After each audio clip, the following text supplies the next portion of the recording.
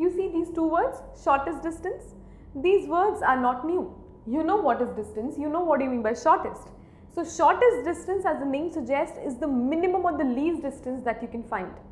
And if I talk about shortest distance, then it is very obvious to ask whether I am talking about the intersecting lines or parallel lines or skew lines because now you know about the skew lines also. So the intersecting lines anyways are going to have a common intersection point. So what is the shortest distance between them? Here the distance is more and here only this will be the minimum distance and this is simply a point. So the shortest distance between the intersecting lines is 0.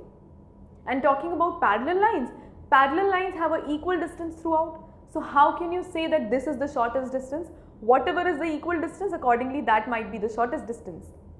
And talking about the skew lines, in skew lines you will get a concept about shortest distance wherein we will see the term called as line of shortest distance. So in skew lines also there is a shortest distance on which we have questions also and the line joining these two skew lines in order to make the shortest distance is called as the line of shortest distance. If still not understood, let's watch the next video based on line of shortest distance.